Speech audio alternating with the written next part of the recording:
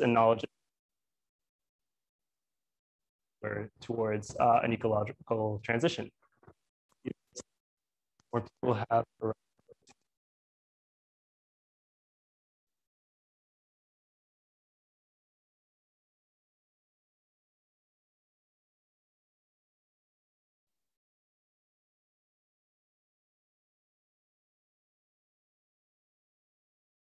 to the nitty gritty. Everybody see this screen?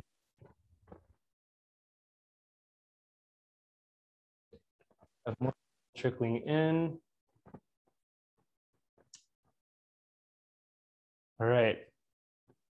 So yeah, I'll to, the, to this plan as people are arriving. Um, so like I said, title title of this workshop is Invasive Materials, Rebuilding Relationships with um, and today we'll begin with a bit of and background uh, in which we'll discuss uh, the Dasush project that I directed here at the, uh, throughout this spring.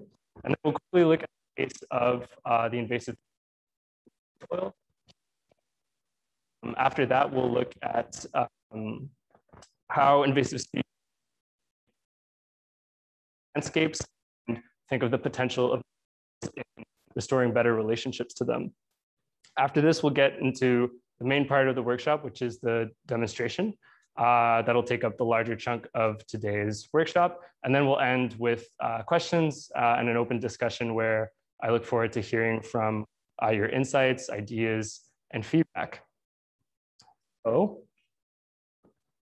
So Dasush uh, was an experimental design project uh, that use the creation of a biomaterial uh, made from Eurasian milfoil, which is uh, this plant here that you see at the bottom left. Um, using this transformation as an opportunity to discuss the potential of biomaterials and materiality in building stronger, uh, more engaged relationships with local landscapes and especially disturbed ones. Um, so from January to April, myself and Concordia graduate Larissa Zemke uh, we experimented with this plant in trying to give it different forms uh, using a variety of different methods before settling on the one that I'll present today.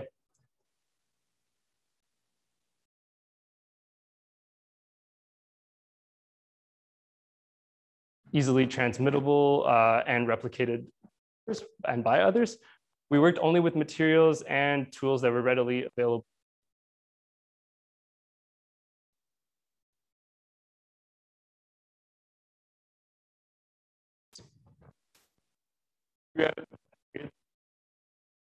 uh, uh, two other workshops.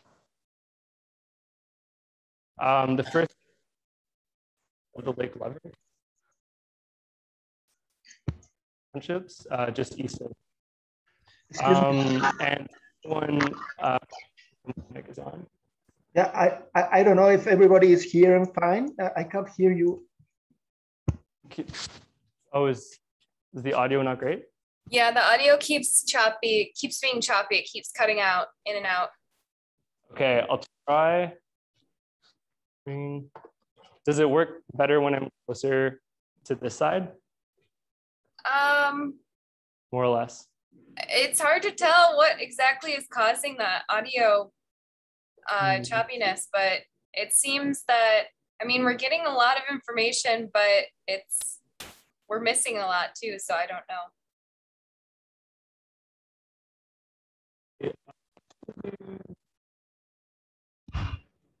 Is this any better?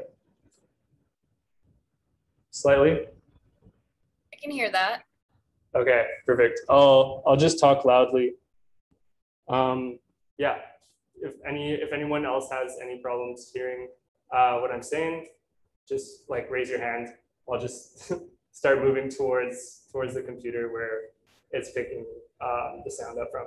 So so yeah, so I was saying um, we hosted two, two workshops uh, in the spring. The first one was with uh, members of the small community who live by a lake that has been seeing um, the increase and propagation of milfoil uh, in their lake for over a decade now. And the second one was with uh, students, artists, and different practitioners, both at Concordia um, and from elsewhere. And so through our discussions, we were able to uh, get a sense of how invasive species disturb uh, and affect different communities, how these communities work uh, to, uh, to address the issues and how, how they live with it on a daily basis, uh, but also to see how artists and designers across Canada, both at Concordia and elsewhere, are also actively working with uh, invasive species and, and different plants in, in their work. Uh, so through our material research, we're able to put together the method that I will be presenting today. So moving on. Um, yeah, like the so it had two purposes. Uh, the main one was to make uh, this biomaterial, was to come up with a recipe uh, to, to create this material at home with simple kitchen appliances. And the second one was to engage local communities in making bio objects and using that opportunity to reflect on sustainable approaches to invasive species management. So at the bottom, there's a few screenshots from uh, different videos and Zoom meetings, uh, webinars that we hosted uh, that, as you'll, you see in the bottom right, was very similar uh, to today's. So moving right along, moving right along, um, the plant that we've been working with, like I said, is called Eurasian milfoil. And um, this will give you a bit of a sense of almost like a case study of how working with uh, biomaterials or with invasive species integrates larger issues. Um, and I also wanted to specify that, you know, although we've been working with this specific plant, the purpose of today's workshop is sort of to open up discussions um, about, you know, invasive species at large, uh, and that the method that we're showing today isn't specific to Eurasian milfoil. It can pretty be pretty much be adopted uh, and used with any sort of plant matter. So uh, Eurasian milfoil is nicknamed the zombie plant and has been uh, in Quebec since the 1970s when it was first spotted on the banks of the St. Lawrence River. Uh, today, it's estimated to be in over 200 lakes across the province, although many of them uh, are suspected to be unregistered. Uh, so there's an assumption that there's actually more than these 200 lakes. Uh, and its presence and propagation are both uh, are both anthropic. They're caused by human movement um, and, and activity. So it was introduced to North America, presumably as a decorative aquarium plant. Uh, you can still purchase it online for your aquarium if you are if you, you don't know its, its potential um, and its consequences. Or was introduced through ship ballast from Eurasia. Um, when ships come across the oceans, they fill um, themselves up with, with water to, to remain buoyant. And so presumably it was introduced through that water and then dumped uh, somewhere, somewhere in the St. Lawrence. Eurasian milfoil spreads really easily and quickly uh, because it has three propagation methods. So through seed reproduction, stem fragmentation, and rhizome network, uh, it can spread and colonize bodies of water extremely quickly and can essentially uh, choke out small bodies of water. Um, what I mean by choking out is it pushes out um, native species, both plant species uh, and larger, larger fish, um, and is often the result of uh, heavy boating activity. So because it spreads through stem fragmentation, uh, any disturbance can lead, can carry a stem across uh, elsewhere in that same body of water or even to another body of water. A lot of boats, propellers get caught up in it um, and people don't clean it. And so it's transported from lake to lake without people really being aware. And so, like I said, it can completely colonize uh, and uh, eutrophy small bodies of water. So, so it, it um, is a huge increase of nutrients in the water, which then can have effects such as um, algal blooms um, and uh, increasing the heat, the temperature of the water, uh, and at the same time lowering biodiversity. Um, and also, what's interesting is that it also translates into social and economic consequences. So it impedes on water recreation, uh, which then in turn lowers land value, which then affects the revenue of small municipalities. And so my own relationship to milfoil uh, dates way back. I uh, used to spend my summers as a kid by Lake Lovering and um, I would frequently swim in it. Uh, and so recently working actively with it and manipulating it uh, in ways that, that in which I create a relationship to it that has really changed my own perception of myself in that environment, both um, as a designer, but also just as a person who, who inhabits uh, those, those landscapes. Um, if we want to move on, um, sorry. Exotic invasive species um, is a growing phenomenon around the world uh, and, and, is another manifestation of what we now commonly call the Anthropocene. Uh, so a bit like, you know, climate change or any sort of very contemporary ecological realities, uh, exotic invasive species are not going anywhere uh, as long as we keep moving around the globe. It's, it's pretty straightforward. And so um, as there's more and more human movement, more and more species are accidentally or intentionally brought into new environments and ecosystems uh, that don't have the characteristics uh, or, or regulating factors, if you will, that, that limit its spread. Um, and so this is an important notion to, to understand is that invasive species are always native to one place, to, to one local ecosystem. And so when they're brought to another one, uh, the regulating elements that would normally reduce its spread, such as uh, a predatory species or, um, or even climate, uh, local climate, for instance, um, those, those factors aren't in the new environment, which then just leads to its propagation. Um, and so here we have two sort of quotes, one from the government of Quebec that defines invasive species. Um, and that, so that's a, plant, animal, or microorganism that's introduced outside of its natural area of distribution. And then we have Robert Creed, who also tells us quite uh, bluntly that a major factor influencing the species composition of almost every community uh, is the intentional, intentional or accidental introduction of exotic plants and animals. So, so it's pretty straightforward. Um, another important notion to understand is that not all exotic species are invasive. Some of them are brought uh, to new environments uh, from elsewhere and integrate those ecosystems quite well. Uh, they can also be beneficial or can just integrate seamlessly. And so what's particularly interesting with milfoil is that the research is, is a little bit torn. It's, it's not black or white. Um, some, some studies demonstrate its harmful effects on uh, native flora and fauna, while others uh, suggest that it can have positive uh, impacts in small to medium colonies. So large colonies predominantly have negative effects, while smaller um, to medium colonies can be beneficial, um, acting, integrating food chains, for instance, or in some cases acting as a wave block. So they form these very dense, thick mats. Um, they can grow up to 1,000 plants per square meter. And so it's presumed that uh, that can protect the lake floor from heavy uh, waves. And so common approaches to invasive species management uh, generally revolves around eradication and protection. And these two, these two approaches, uh, while necessary, are uh, time consuming and costly. Um, for instance, uh, since 1970, it's cost Canada around $22.8 billion uh, to manage and fight the certain invasive species. Um, and at the same time, grassroots efforts, grassroots efforts um, regularly face uphill battles, um, vouching for legislation by governments and at all levels. So most importantly, um, these, these approaches illustrate a particular way of framing the natural world um, as something that's either pristine or spoiled. So there's like a before and after state, um, and that sees it as a sort of a static, a static um, ensemble rather than an ever-changing thing or something that's con continuously adapting.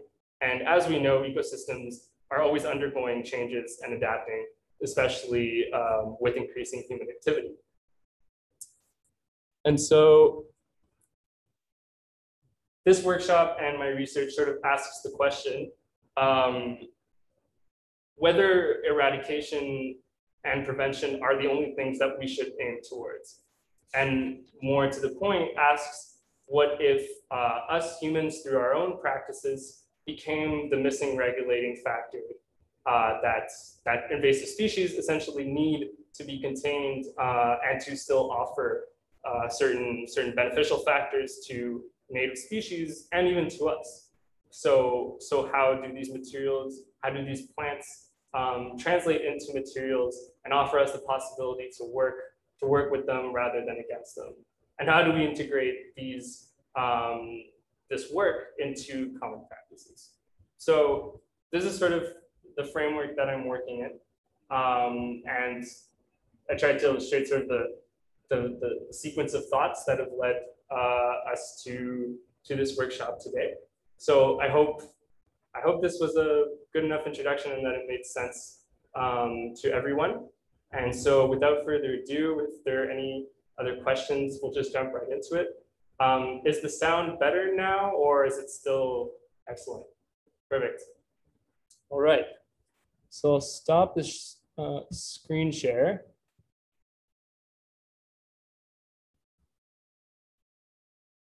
All right, so before uh, going any further, I just wanted to show you some samples of um, different things that were made throughout this research, just to give you an idea of what we're working towards today. Um, so we came up with a variety of forms, um, certain cup shapes, um, and we're following roughly sort of like a paper making approach. Um, a little bit closer here. And so we're only working with uh, natural non-toxic materials and ingredients. Um, so we can make, we have cups, we have these, these rounded tiles, um, and we're not looking to, we're not thinking too much of a purpose at this point. We're more thinking about the shapes and forms that we can give it. Um, and then obviously these sheets of paper um, that have different textures, different tones. Some are a little bit more felty, some are a little a bit more uh, or thinner and more you know, essentially papered. And right, so if you guys are interested, you can, I think in the group chat, um, if you guys can see at the very top, I put a link, here, I'll put it again, um, to our Facebook page.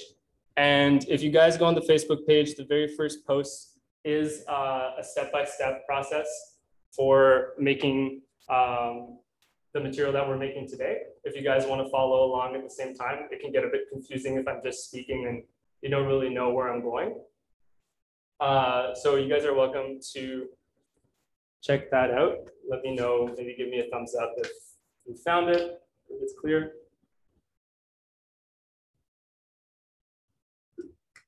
Any? Yes, I would like to know how do you harvest them? Like, what do you, you just have them? Do you go to the roots or you just take the, the top one and then you make them dry? Yeah, this is, this is a, a really important point to address um, and that I should have addressed earlier on today, especially for species like milfoil that spread so easily. Um, I'm not trying to encourage in this workshop that we all go out afterwards and go to a lake that has milfoil and collect it because obviously this is like an uncontained form of, of harvesting and at a large, you know, if everybody goes out and collects their milfoil that way, we risk seeing like more propagation. We were lucky enough to get it through um, a nonprofit organization that does um, that works in eradicating milfoil, and so they were generous enough to to provide some um, that they were that they were cutting essentially anyways. Um, and so, yeah, they're different in, in certain lakes, for instance, uh, milfoil washes up on the shore um, or, you know, people wash it off their boats and it's just left to dry on the ground, which could be different ways of harvesting it. But like I said today, it's, it's more to think, you know, this method could be applied to any type of um, plant matter, um, any sort of like cellulose matter, which is what this is. So, so yeah, so I would encourage you to not go out and harvest milfoil um, by yourself unless you were able to, to get in touch with a local organization, which, in which case that would be great. Yeah. Cool. Thank you. Thanks for that. Uh, so if everyone has the, um, the uh, recipe in front of them, uh, I already, you'll see the first step is to boil the plant matter. And so I've already done it here. I have about two cups um, in this blender already.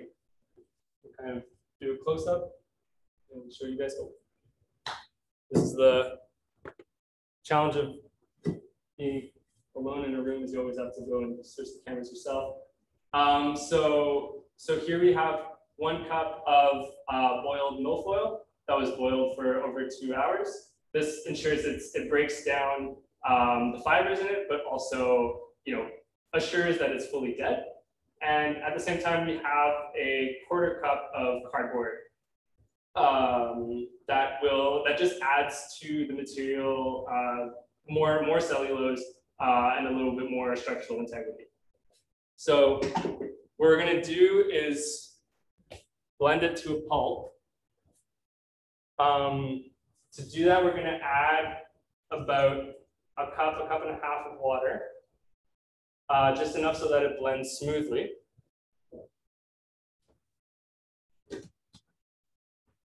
And yeah, it shouldn't be too loud, uh, but yeah, maybe watch out.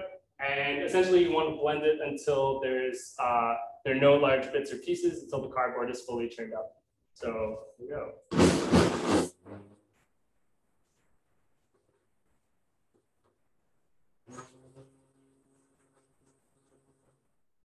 And if you do this yourself at home, um, you essentially can just add water um, until, you know, if, if you haven't put enough water, um, it'll likely get jammed and then you just add some more.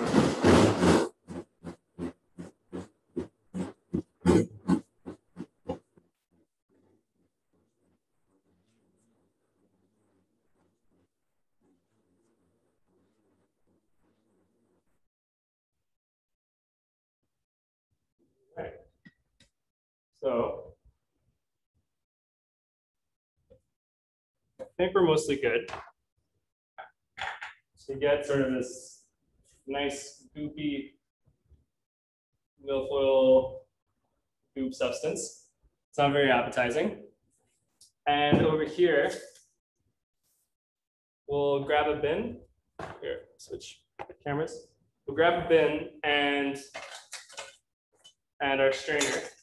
And essentially you'll just strain out the water so that you have only your goop.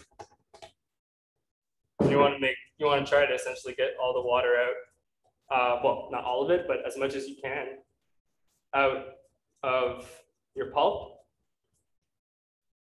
You're essentially just shaking it around.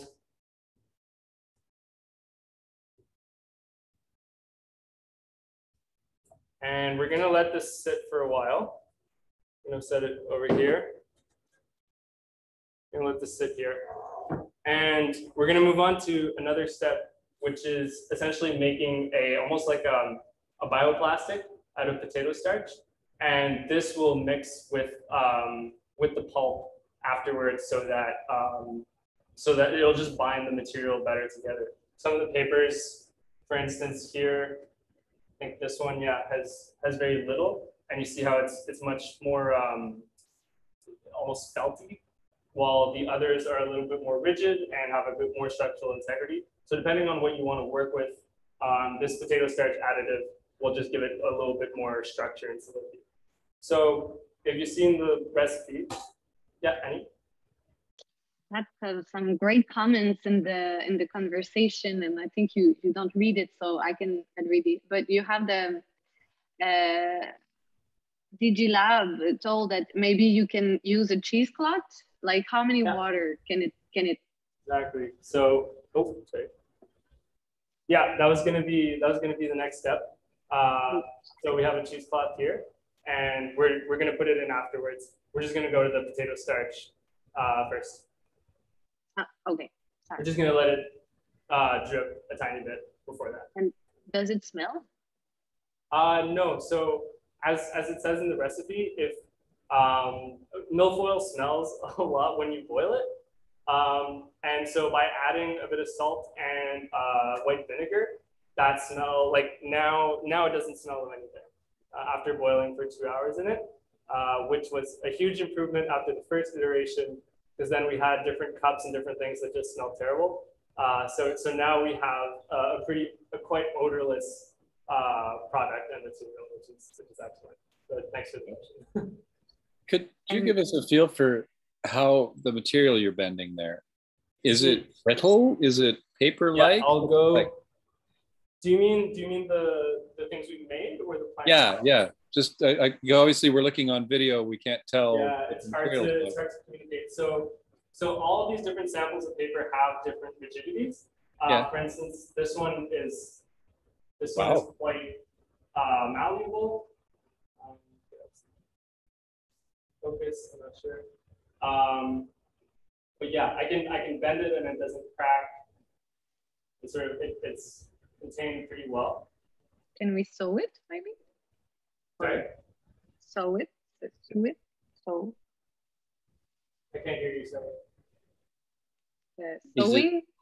Yeah. Is it a Oh, for fabric? sewing, yeah, no, I, I don't think it would work for sewing. It's like, it's not quite, um, it's not like a, a textile, no. I think it would, it would come undone. But I, more I like also haven't tried it, so I can't guarantee. What if it was coated with a bioplastic surface? Then I think it could probably be sewed. Mhm. Yeah. Yeah, we experimented with, with coating with bioplastics, um, and the results were, were quite mixed. But again, this is like, what I'm offering today is really a starting point, and hopefully you guys can, can all take it and make it your own and, and keep playing with it. Um, for instance, this one, this little tile here was, uh, not sure. Um, yeah, this one was actually soaked uh, in, in the bioplastic that we're about to make. And it's, it's quite solid. So, so both of them together can attain quite a, a, a good rigidity. Um, and then an application for that could be, could be pretty much anything that you decide. Um, so these are two, I'm like, I'm quite, I'm pressing quite hard right now.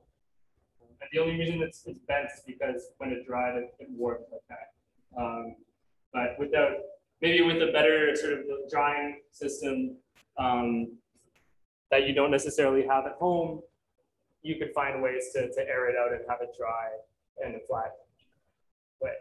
Uh, how long has that sample that was really rigid been alive? So how, how, what's, what's the At life on that? At least since March. Yeah, March and April. So quite some time, yeah. Um, are we good to move on? Excellent, okay, so. So to make our, our bioplastic slash potato starch additive, um, we're gonna start, I'm just gonna turn this hot plate to max. And we're gonna start with two cups of water.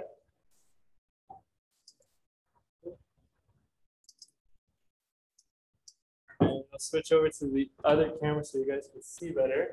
Um, and right here we have some, um, or uh, I don't know if it's organic, but unmodified potato starch um, that you can pretty much find in any grocery store. And we are going to add um, one tablespoon and a half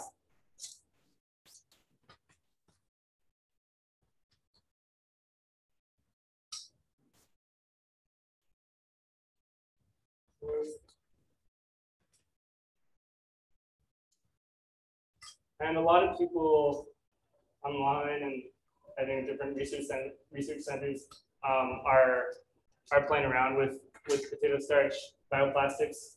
Um, some use cornstarch, and they're quite easily accessible and easy to find online. And everyone sort of has their own take of what what method is the best. So, and this one is a compromise in all those and just a, a, method that worked best for our needs. So we have one tablespoon uh, and a half of potato starch, and then we're gonna grab our glycerin, which is um, an emulsifier that you can find in any um, pharmacy or pretty much pretty much anywhere that is used. Um, uh, it's it's it's a natural ingredient. It's just it's come, comes from plants, um, and and what glycerin will do is at a molecular level, um, it has these very it has this composition that is um, if I remember correctly, inserts itself between the very rigid composition of potato starch and adds it some um, malleability. So if it were only potato starch, uh, whatever you were making would be brittle and would crack. And um, the glycerin essentially adds adds flexibility to it. All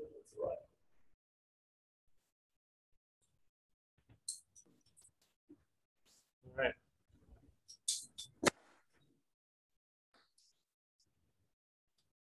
So I'll come up, a close up here. where you'll see, it'll kind of stick together um, at the bottom. And so you just want to make sure it's homogeneous before, still some carpet in.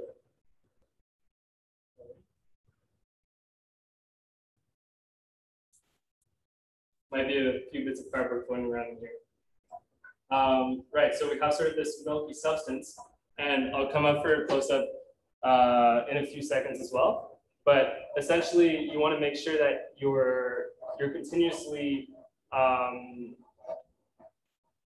just continuously giving it some movement and um, not letting it congeal in certain spots, which uh, it's it's prone to do. And as you wait and as it heats up, gradually it'll start forming um, a denser, thicker, sort of um, almost like a, a, thick syrup. And if you kept it, if it kept going, it would become um, more, more like a gel. Uh, but we don't want, for the purposes of today's workshop, we don't want to go to the gel part. Um, we're going to stop around when it's when it's quite syrupy, and you'll see you'll see why. So at this point, it's already starting to uh, stick to the bottom. And yeah, we just want to keep mixing it.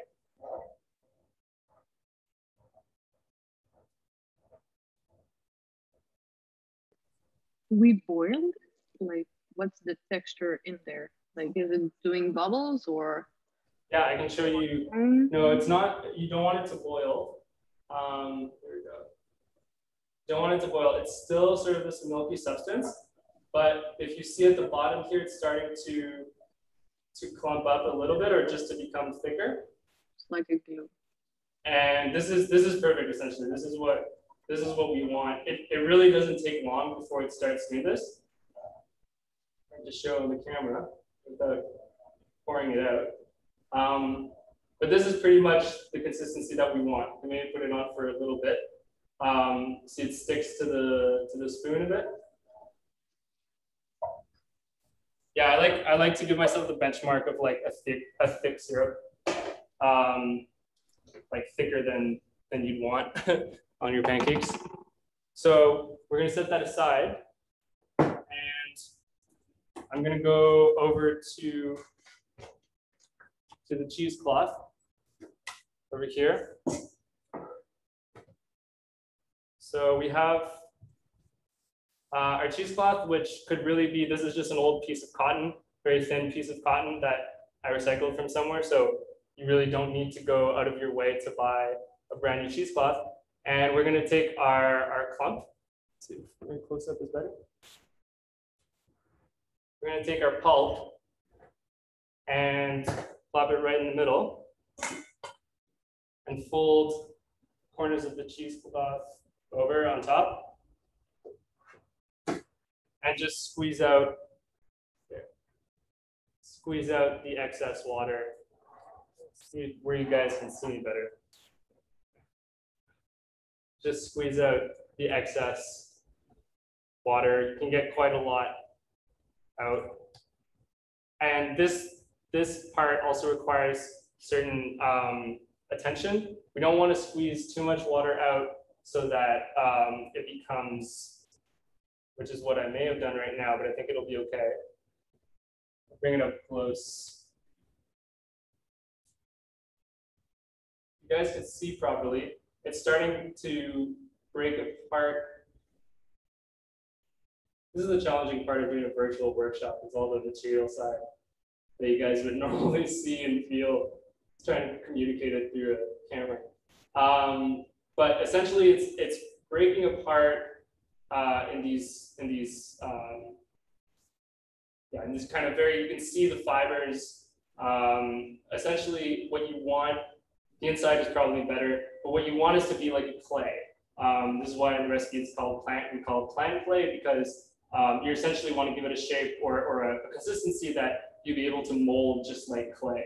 Um, and so and so the water sort of acts as you know almost almost like keeps it together better. Um, but this this will be fine. This consistency will be fine for the purposes of today's workshop. So we'll just bring this over into a small mixing bowl right here. We'll just plop it in there. Move these things out of the way. And we're gonna add our potato starch right onto it and into it. And we wanna, make sure we get all of it. And we're essentially gonna mix them together until they're perfectly homogeneous. Does it have like a big retraction when it dries? Um, I would say a re- an important enough retraction that um, I would say, like for instance, the shape that we're going to do today, which is which is mimicking this shape. Here, this is maybe a good way to see it. Um, this shape was acquired on the same mold that we're going to use today, which is this bowl. And so the difference in size is of maybe an inch or maybe two. Uh, maybe more an inch, yeah. Or an inch or three quarters of an inch on all sides, I would say. So And this is a good you- way of, of seeing Did it. you try without the excess of water in the plant? Like if you really, really squeeze, does it have the same retraction? Um, without adding water, you said? No, but you squeeze with the cheese cheesecloth and then you say, don't squeeze too much because it, it, you need like a clay paste. Yeah. But what if you squeeze it and it's really, really dry and you do your mixing with that pulp that it's really, really dry? Does it have the Uh, same the only problem, the more it's, the drier it is, the harder it is to give it a shape. Um, because it, because it'll break apart. Well, you'll, we'll see when we'll mold it on the bowl. Um, but the, if it is too dry, then your pieces will, will fall off and won't, won't hold together into, um, sort of a, a cohesive shape. You need some But the great thing, I don't know, what, what I learned through experimenting with this is like, is over time you really start to get a feel for, for what, what works and what holds together and, and what doesn't. And so the more you work with it, sort of, the more you get to experiment with, um, with trying different things. Like I'm sure, um, I'm sure there are other additives or just other things that, that we could play with that, um, that would give it a different type of, of texture or or um, or feel. And So- is it so like this is- clay? At the end of it, your bowl, if you if you fill it of water, does it like melt down? Uh, if you maybe if you left the water in there for multiple hours, um, but you know it could contain also serve to contain non-liquids, um, but liquids would stay for you know a short period of time. It would be it's it's the same it's the same as having a paper cup, say. Okay. Yeah. Okay, so here we are. It's perfectly mixed, and and this is this is the next this is like the next level of of clayiness, if you will. Um, so it really holds together quite well. Um, it has sort of a, a sheen to it, like some like a, a glistening, uh, which which is the potato starch. And so this is this is perfect. Um, and now we're going to go over to our bowl and and uh, and mold it. I'm just going to move some things out of the way just to have some space and for you guys to see better. Are there any more questions at this point? Yes, Digital Media Lab. I'm Caitlin.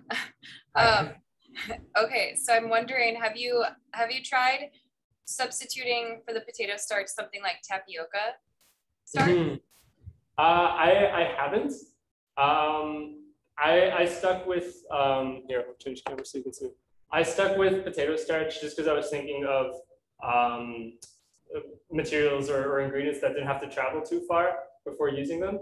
Uh, and so the, the potato starch is made in Canada, which was good enough for me, but I'm sure that tapioca, cornstarch, Um, there's so many other different types of starches that I'm sure act all slightly differently, but generally, generally bring the same sort of addition to, to whatever you're trying to make. And then I have one more question. Yeah, of course. Um, so this might be jumping ahead too far, but I'm curious, uh, how does the material attach to other surfaces? So have you, um, like for instance, I was thinking about the application of it being on a wood surface or functioning like a like a coating or even a veneer type of something. Interesting. Um, I haven't I haven't played around with other surfaces really. Um, I've like maybe that's next. exactly, exactly. I've experimented with um, the plant clay and um, just using the you know the the potato starch and the bioplastic as its own as its own sort of medium. Uh, but this definitely sounds like a very interesting avenue to, to pursue. Thanks. I'm in right. Montreal. We will Oh. try. Sorry. I'm in Montreal. We will try. Yeah, perfect. Uh, Thomas, ca- can, can you bleach the the clay? Can you put that uh, chlorine or something to bleach it to, to make a kind of a whiter paper? Mhm. I was looking, uh, obviously, yeah, that, that reflection came up when, especially when we were producing um, these sheets of paper. Um, it came up, and then we were thinking, well, we really wanted to go as far as we could with uh, keeping it non-toxic or using non-toxic materials. So we tried bleaching it with um, uh, peroxide and lemon juice, and it, it didn't change much. I believe this is the one. It brought, it made a slightly, change cameras. It made a, a slight difference in tone, but not enough to, to whiten it. But, but bleach, I, I would be surprised if, if actual bleach didn't, didn't change anything. I think, I think you'd get much better results with actual bleach, but pursuing and trying to use non-toxic materials, we, we settled with that and, and left it there. So are we good to keep going? This is, this is the final step. Um, so I'll bring this.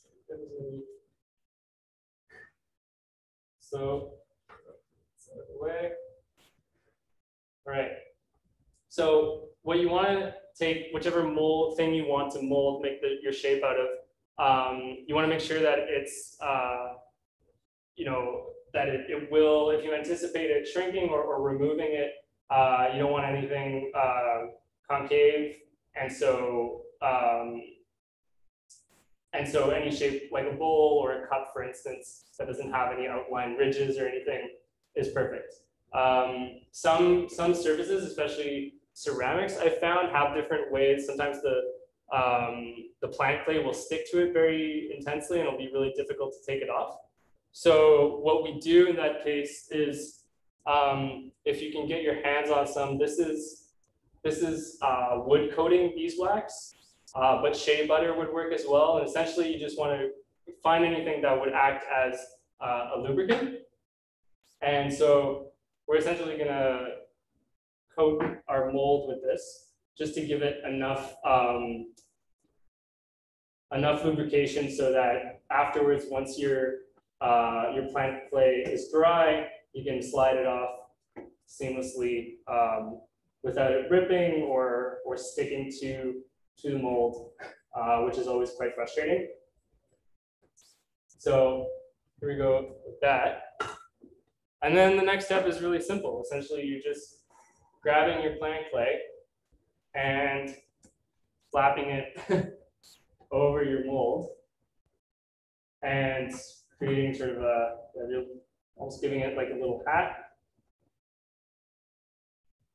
Using different sections, different clumps to fill in the gaps. Did you try thicker and very, very uh, thin bowl?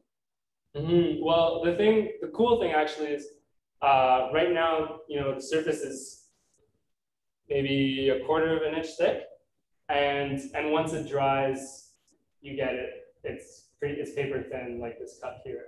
So, so the um, it's actually harder, especially to dry and preserve um, uh, a certain thickness than, than obtaining something quite thin.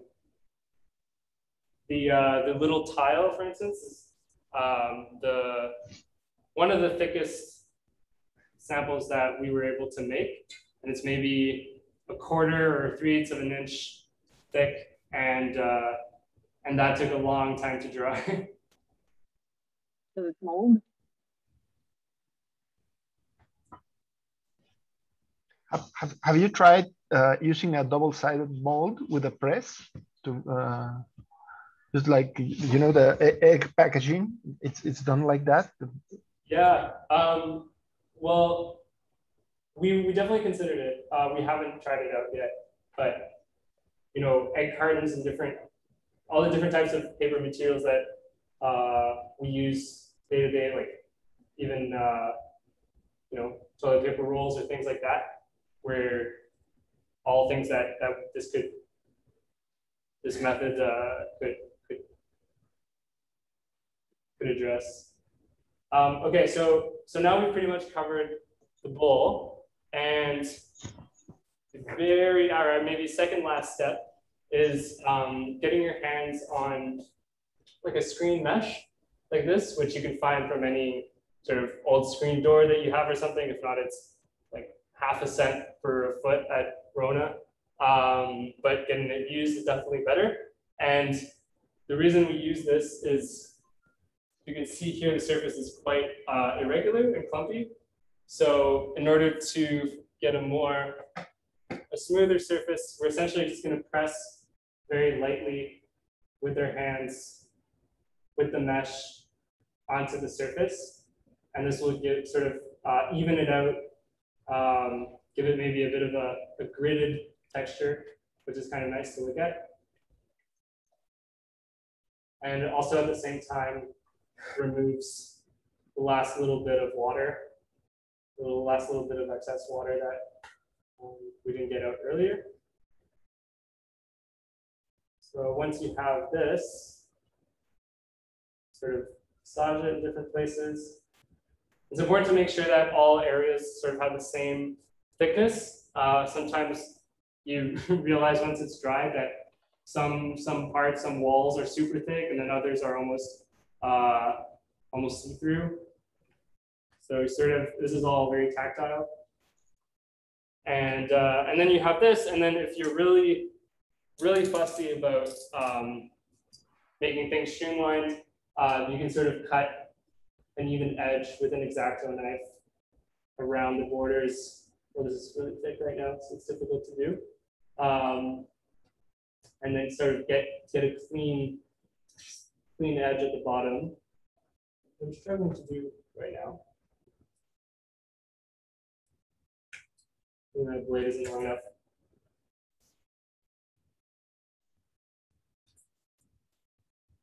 So you can work your way all around your bowl.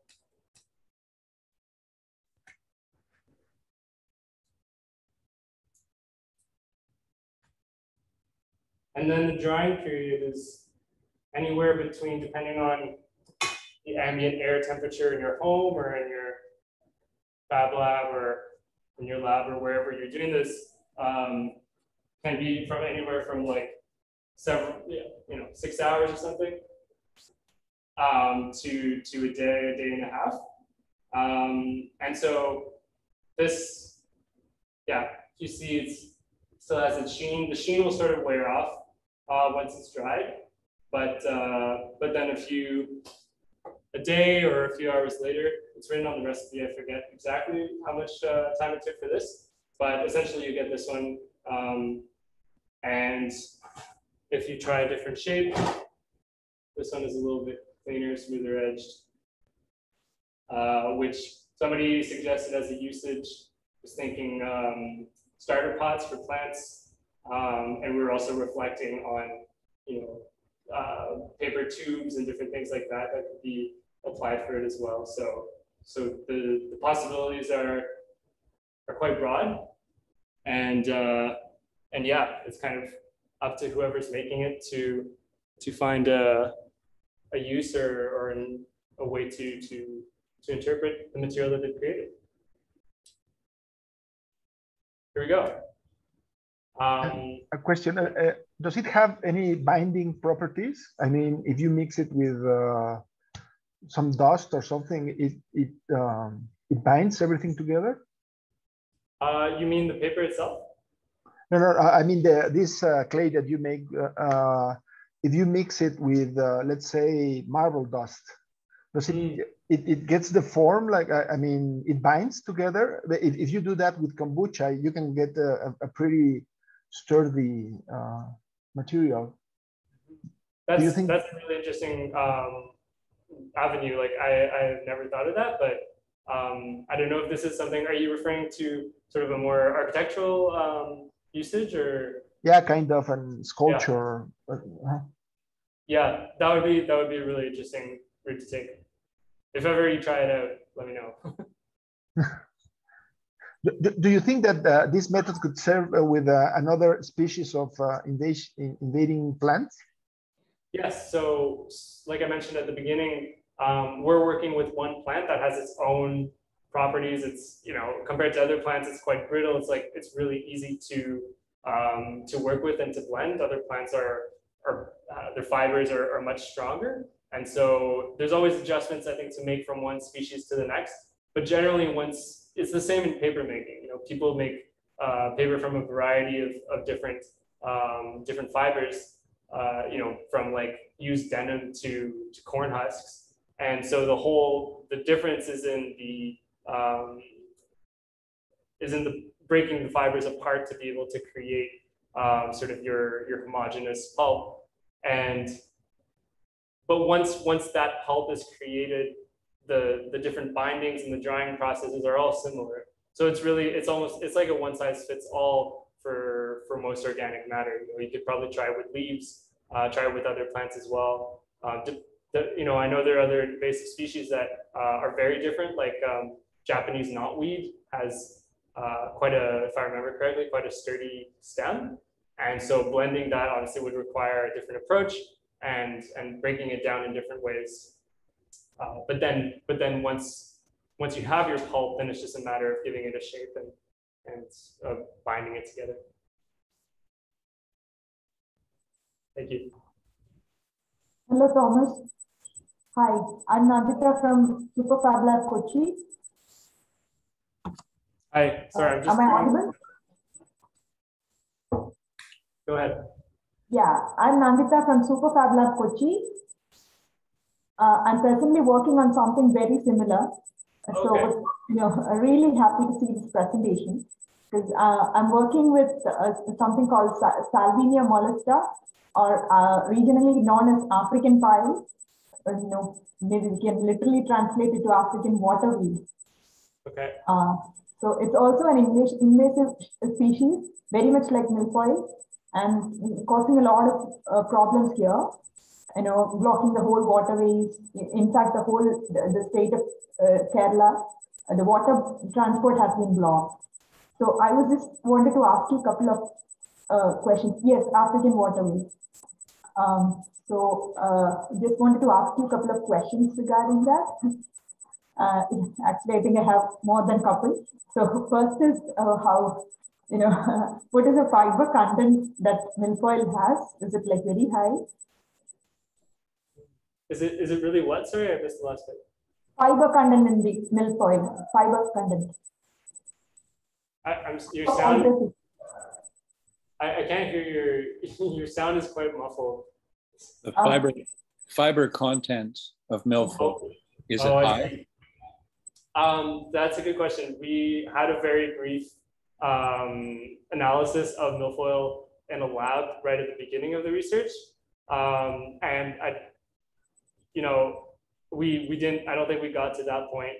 What you, do you mean like in terms of um, uh, molecular composition or is the fiber content like um, of, of the plant itself, you mean?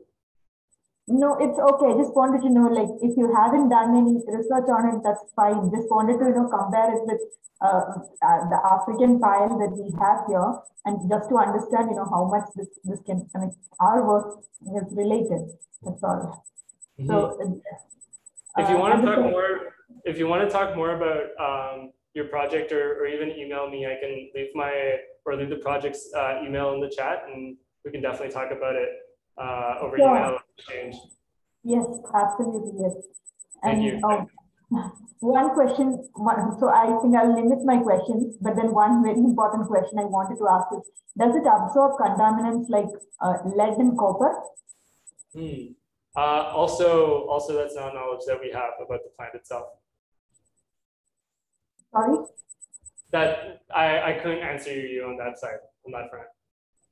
Oh, okay, okay. You Uh, mean, does the plant itself absorb lead and copper? Yeah, from the water where it is living. So that's one problem I have with African payal. So, you know, that's Hmm. why I just wanted to know. That's interesting. Yeah, all, I mean, what, what I know about the plants in terms of um, its interaction in, in the in the, the water that it's in um, is mostly in terms of eutrophication and um, its nutrient import to the water and also feeds off, um, it, it thrives in eutrophic waters as well. So, um, so with increasing urbanization and, and uh, agriculture in the, in the um, surrounding lands, uh, which is the case in Lake Lovering where, where we were working, um, it, it proliferates even more in that context. But I don't know about the mineral, um, the min- presence of minerals in the water, how that affects it. There's also there's also very little literature on milfoil itself. Um, there there have been studies, uh, a few in the states, I believe in Colorado, um, and a few a few in Canada, mostly in Quebec.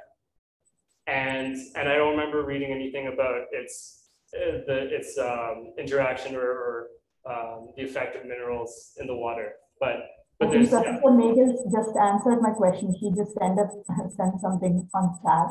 But Oh, you know, perfect. Thank you. maybe you can try 3D printing it or even you know, laser cutting or something. I mean, 3D printing using this would be a great thing. Hmm, Perfect. Thank you. Okay, bye.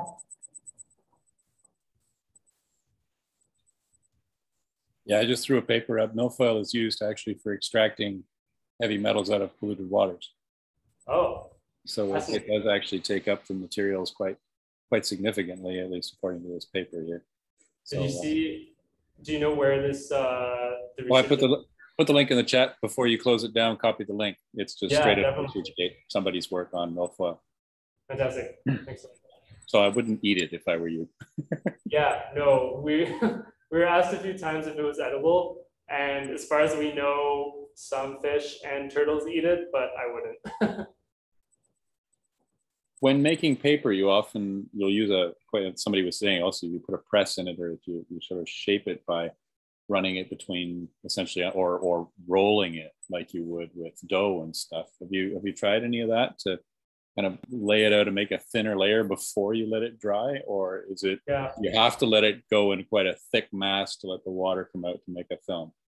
Mhm.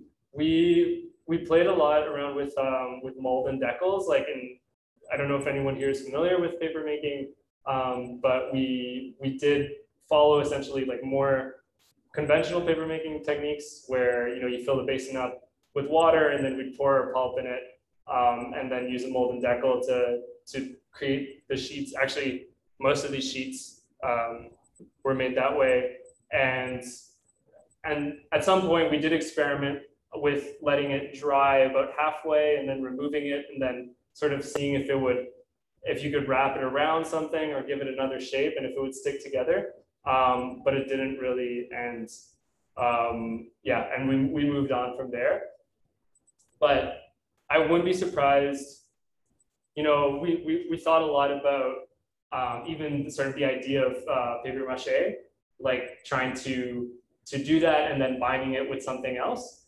But as a as a process, it was a bit um, a bit more labor intensive and a little less clear cut. This was uh, you know this one was maybe the more streamlined of of processes of, of methods. Um, but yeah, the paper one worked out as well the, with the mold and deckle and you know other ones that we could have maybe pursued further, but would have been instead of like a two-page recipe would have been like a four-page one. So so we went with what was what was the clearest. Did you try any other? Uh, sorry, you go. No, no, that's okay. I was going to say, did you try anything other than vinegar? Have you tried uh, different acids?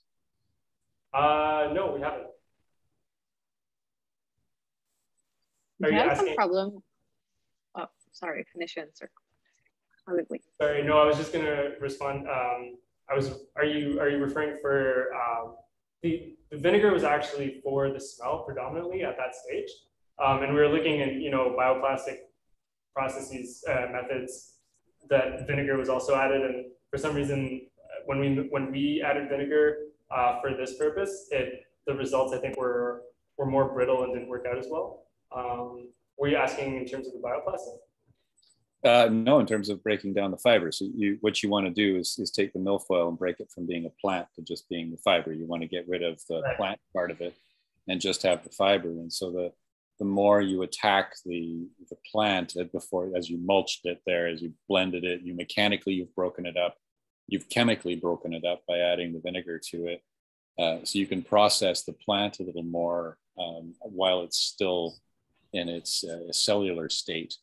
So you're Right. essentially you're beating it up, right, and to, to mulch it there properly. And if you the longer you beat it, the more you'll get, and, and with more attack, you'll get more fiber out and less of the of the sort of rest of the cells of the plant.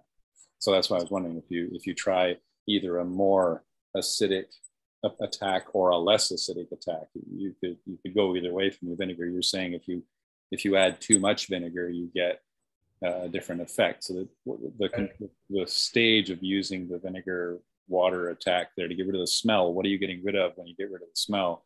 You're getting rid of the decaying plant flesh that's in there. So, so you're you're attacking the material with your wash that you're doing at the beginning. So I was wondering to what extent, you know, playing around with the pH at that state. Uh, yeah, well, exactly. So you can you can take it all the way into a very high pH uh, range, or you can take it into a very low pH. And depending on what you do to the material, uh, Right. I guess each plant reacts differently. So that's why I was asking was about that. No, thanks for bringing it up. Like our um, milfoil itself, you know, wouldn't actually need um, any uh, vinegar or any acidic additive to break it down because it's so brittle, anyways. Um, like if you guys, I have some some dried milfoil. It's you know, it's it's tiny and just like will crumble and you can even make a dust out of it pretty much in your hands. Um, so, so we wouldn't really need, you know, any acid to, to break it down in the first place. We, we'd only put it for, for the smell. Um, but yeah, except for instance, seeing um, different videos on YouTube about making paper with corn husks, for instance, um, I believe they were using, um, uh, I forget now, but but they did use something in, in the boiling process as well because the corn husks were quite um, strong and, and sturdy. So yeah, thanks for that. Uh, Annie, I think you wanted to go. Yes, actually, William, you got a great idea because if you're if you're doing some fiber, you can actually create some threads with it. So you can actually you can knit. So you can have a shirt from algae. Okay, well, um, do you have some problem with the mold, with the Mhm. drying? Good question. Because it's it's always beautiful, and we just do it, and then it won't. Yes, that's actually great that you bring it up because uh, last week in preparing for this workshop, I pulled out my box of prototypes and samples, and and a few of them, a few of them had some mold on them. I realized that um, those that did were those that I um, some some of them I, I either dipped sort of like um, sort of like the tile here. Um, I dipped in more bioplastic potato starch um, or or added a coating to them, and just to see like how solid I, I could make them at least, or, or just playing around with that. And and I think all of those that had mold were those that that sort of were were experimented with afterwards. Um, so, and that might have just been not letting it dry properly afterwards. But again, I know you know other people at the biolab here that are working with uh, bioplastics made from glycerin. Um, the, the mold question always comes up, and I believe that they just dab the moldy patch with uh, with vinegar, and and so far they've had good results. So, so vinegar coming to the rescue once more. Always vinegar. Always vinegar. I've I've applied uh, vinegar and peppermint essential oil to the surface of bioplastics before, and it seemed to keep away and kind of kill the kill the mold that was growing mm-hmm. as a as a byproduct of the environment or the humidity level. It's very humid right. where I was creating bioplastic. Wow, it must smell good too. What? It must smell good too with pepper. Oh, oh yeah. It was like it was like you know we all get this. My body gets it. Material gets it. The environment gets it. It's good. Wonderful. Um, but, but to, to Caitlin's question there, have you have you tried using a desiccator or or heat to process it for drying it quicker or more evenly? No, um, we we had quite limited means, uh, especially during the pandemic. So our, our experiments with ventilation and, heat revolved around um, putting it over a wood stove when I was experimenting over the winter break at my cottage, which actually worked very well. Um, just leaving it, it was it's a, a, a, granite stove or not granite, like a yeah, um, sorry, it's like a, it's like a, a stone wood stove, and uh, and letting the the paper in the in the mold dry over it with the press just created the, the most uniform paper that I was I wasn't able to uh, reproduce it afterwards. Um, but otherwise, it, it's stayed within the realm of playing around with uh, vent, uh, with fans and angling it over the the heater. But you know, it was it is kind of it's special to work that way during a pandemic, trying to make do with with whatever you can. So I'm sure in a more controlled environment, we would have had different results. And was you know, our research would have been quite different, but you do what you can. So a thermic mass with no ventilator, but heat. Yeah, and well, the paper, so the paper was still in the mold. Um, if we go back, I can maybe share my presentation. Um, this, this is me peeling it off the mold here um, at home in the bottom left. And um, and what I had was a few layers of, of cotton fabric underneath and a few over, and then um, and then a flat piece of wood and then a weight over it. So it was being pressed down, and you had the, the fabric uh, both over it and under it, and um, and and yeah, it just it peeled off smoothly. Um, it was uniform and and worked wonderfully. But then, but then in Montreal, um, I didn't have access to a wood stove. So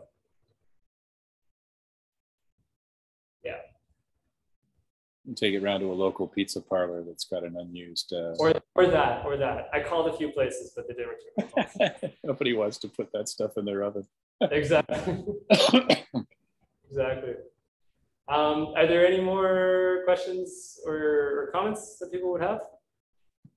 Well, if other people are going to ask other questions. Uh, to what extent are you planning on quantifying this? So, you know, we're, we're bombarding you with questions you don't have answers to at the moment. Hopefully you're planning on, on doing this in a more quantitative way so that you can say how long and how hot. And uh, so uh, where, where, where, are you going next with this? Mm-hmm. Um, it's a good question. We're sort of, we're a bit in an in-between stage right now, um, both in terms of funding and um, the new academic year coming up. Um, there are no there are no uh, guarantees about where this project is is going to go in the future. So I couldn't actually answer your question.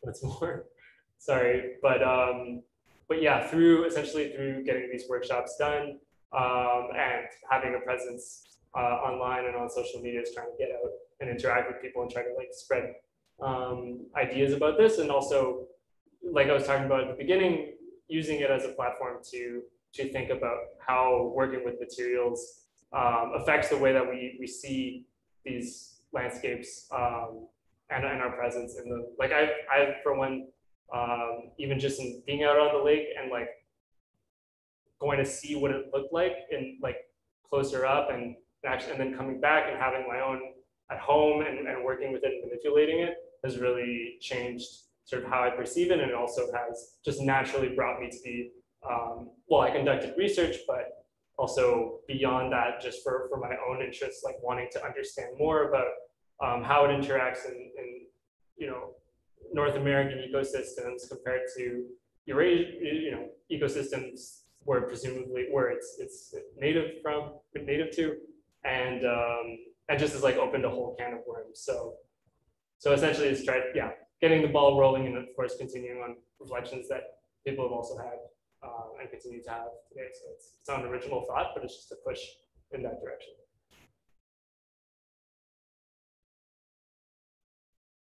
Great. Well, if that's if no one else wants has anything to say, um, thanks so much for coming around. And obviously, it would have been much better if we were all in person, but then maybe we couldn't have been all in person because I feel like people are scattered uh, throughout the world. So thanks so much for joining today and uh, hope this has been remotely inspiring and um, encourage you to keep going in certain directions that are similar to, to the ones that we've been working with. Thank you, Thomas. Very interesting. Good Yeah, stuff. thank you. Good luck with the rest of it. Thanks. Thanks so much. Um, more a personal thing, but I'm in Montreal too. Do you, and you work at Concordia? Yeah. Yes. Uh, I come visit us. We're near the Metro Sauvé. We're neighbors. We are. We are. If you want, um, I can add. Um, I, I yeah, I don't mind adding my personal email in the chat. Um, if any of you want to take it down, and if you want to reach out and discuss it some more, I'd be more than happy. Yeah. Yeah, I'll, I'll type it out right now. You guys are making me nostalgic. Montreal's home for me. So I'm not there. It's not fair. Oh, where are you? I'm in Germany. Oh, a little bit far. A little bit, yeah. Bring the pedalo. You're welcome. So yeah, so anyone, yeah, anyone who wants to reach out, please do. And oh yeah, the, the great thing with these workshops is like I only have a certain amount of knowledge and know what I've worked with and what I've read. Um, but having this type of exchange is just enriching on all ends. So I look forward to hearing from some or all of you. Yeah, it's interesting to consider the possibilities of partnering with, uh, like thinking on a massive scale. So the research that you're doing could apply to industry.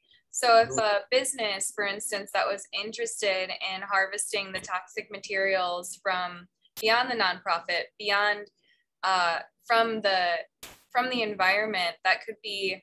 I mean, you could start a business really easily if you get into 3D printing this material. Um, where you're creating some sort of structure from it, whatever that may be, that could benefit, you know, the extraction of not only the toxic metals, uh, I guess, if it if it is getting those out of our water systems, but then also um, the material since it's invasive. Because you know, I think about the the invasive species around Florida as a byproduct of farming industry that kind of come down through the Mississippi, through the United States, and um, you know are gathering there. So it's it's something that you know i've even thought about on that scale but your your i mean we're in different worlds but i think at the same time um, really similar opportunities could arise as far as um, the possibilities of business mm-hmm. yeah we're also we're reflecting at some point on the potential, part, partly why we met with this community and members of this community in the first place um, was to get a sense of if it would be possible to, there, there's like a almost a poetic spin on communities using, like taking, taking this material and drawing that is like, that is causing them a certain level of harm and turning it into something positive for, for themselves whether whether it's turning it into um, you know their own commercial uh, product or or making something that you know is is useful to them uh, in their daily lives.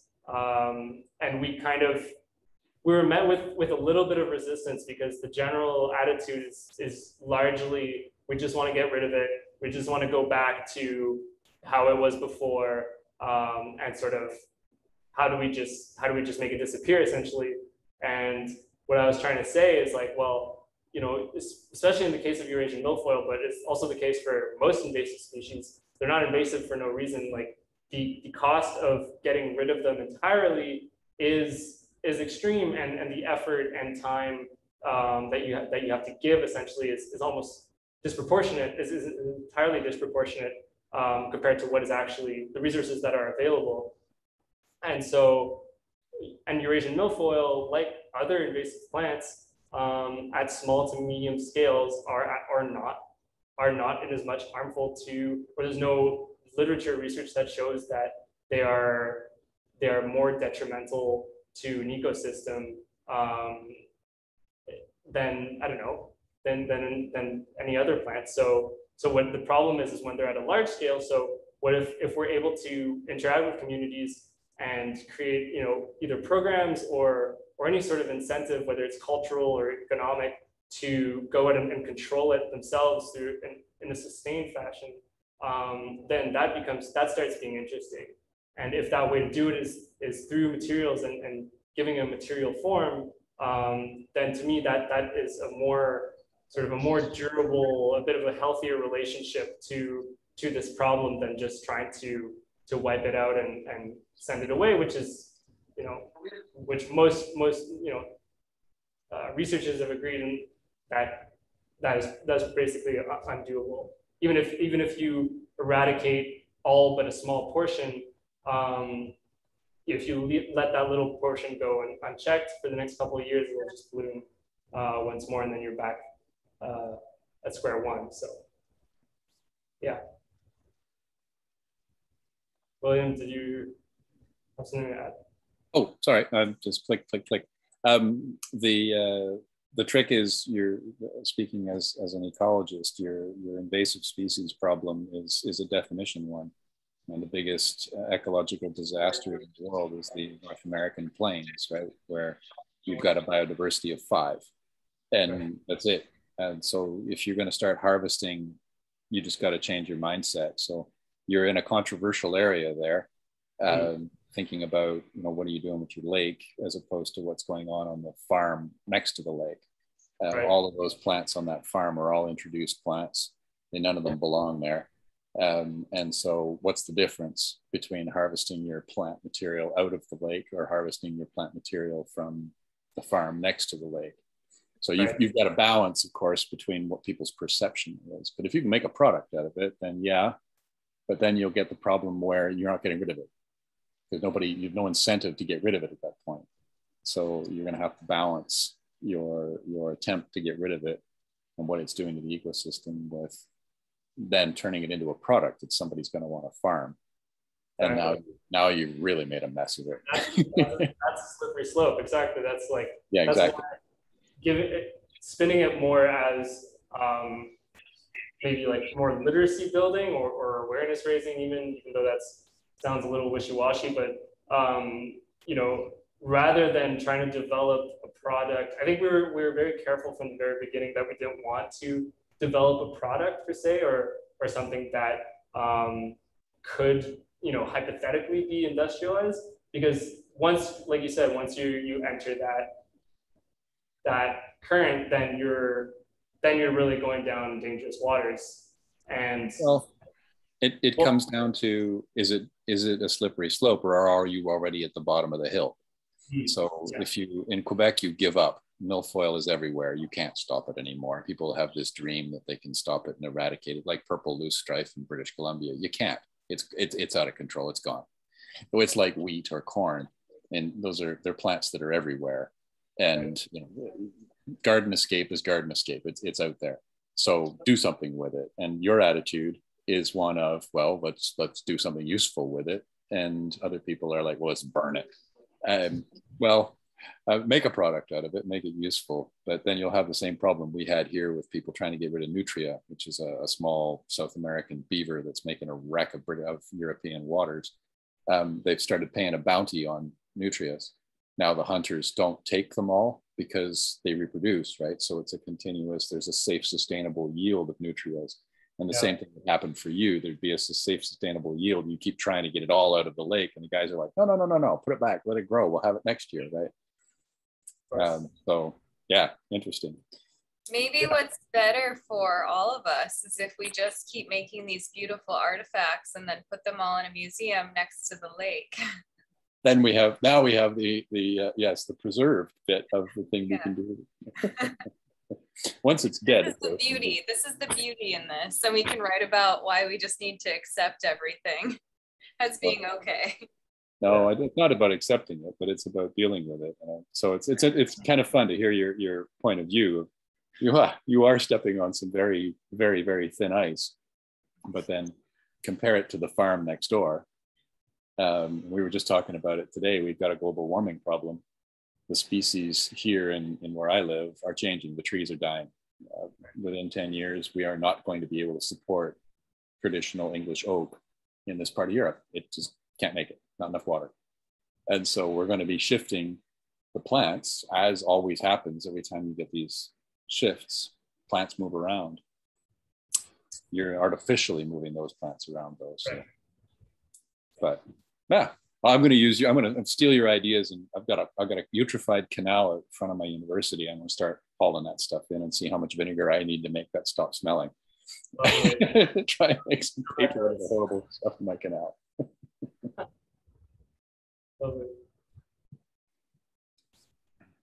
Well, I mean, I guess I already closed it once, but if this is really the end, um, yeah, thank you everyone and great discussions. It's always it's always wonderful to exchange.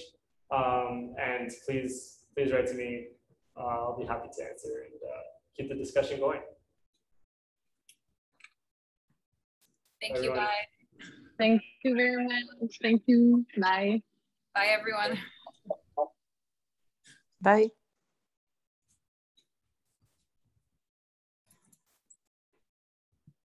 Are you sticking around? Oh.